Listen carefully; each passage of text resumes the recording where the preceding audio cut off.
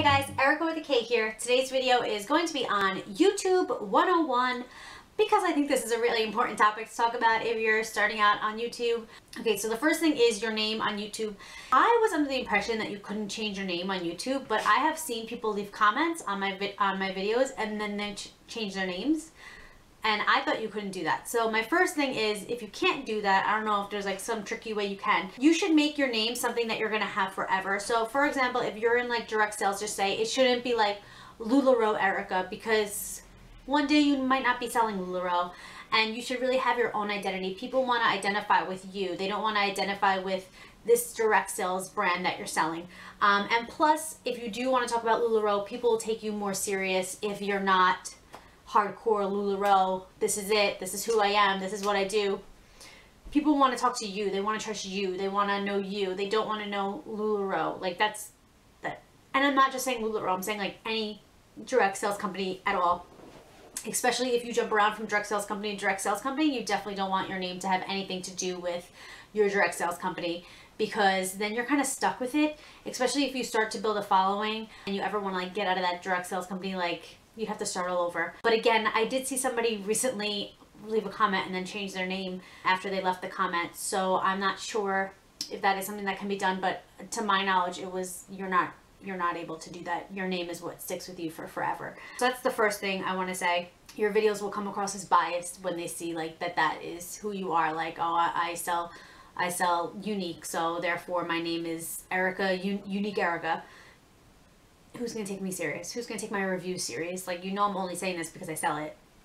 So that's something um, to consider. So that's my number one.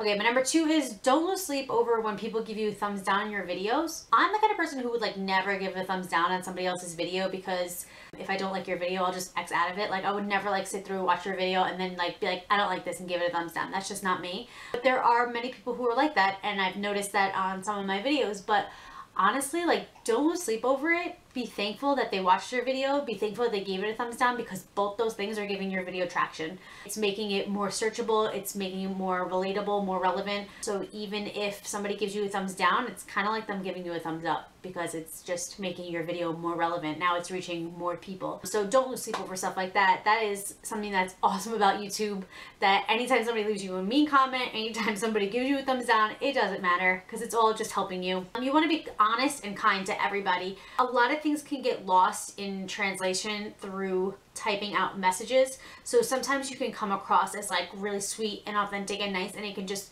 come across the wrong way. That's okay. That's going to happen to you. It's it's inevitable. But just try to be really nice to everybody. Try to appreciate everybody's feedback even if it's negative, even if it's not constructive criticism criticism, even if it's just criticism, like just appreciate that somebody's even watching your video and giving you that time. They're literally sitting there giving you that time. They're giving you their time, which is like the most valuable thing in the world. So just appreciate that they're even doing that. And of course, like I said before, like thumbs down and, and, uh, comments, like it all gives you traction on your video. It all just shows that your video is real. So don't let any of it get you down. Don't be upset about any of it. I always say to everybody, like, thanks for watching, thanks for your comment. Like, I'm literally saying thank you because you're giving me traction and you're giving me views and you're you're making my video more searchable. So even if you're leaving me a nasty comment, thank you.